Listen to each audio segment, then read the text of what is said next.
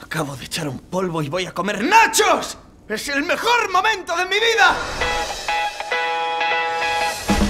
¿Ya os conocéis? Wallace. Hola. Esta es mi prima Chantry. Gracias por no restregarme tu victoria.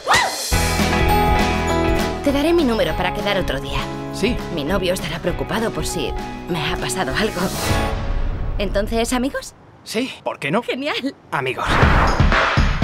En los cuentos de hadas, el amor te inspira a ser noble y valiente. Pero en la vida real, el amor es solo una excusa fácil para ser egoísta.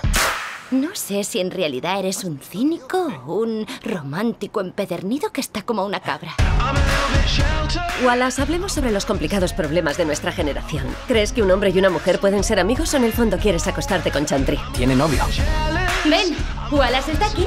Hola. Gracias por venir. ¿Estás intentando acostarte con mi novia?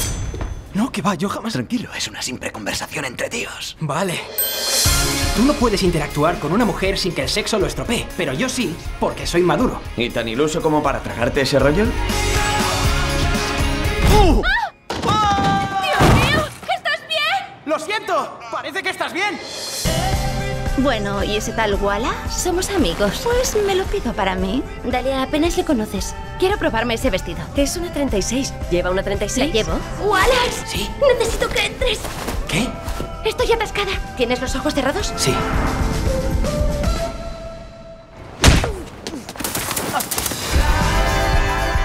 ¿Estás bien?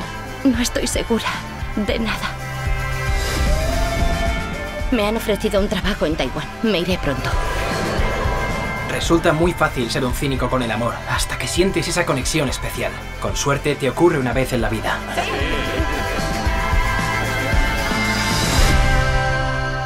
Un 100% de sinceridad es la base de cualquier relación. ¿Qué? ¿Eres 100% sincero con Nicole? ¿Le cuentas todo? Sí. Nueva Orleans 2006. ¿Cómo se llamaba? Em, ¿Fabia? Sí, la verdad es que parecía una mujer. Un 99% de sinceridad es la base de cualquier relación.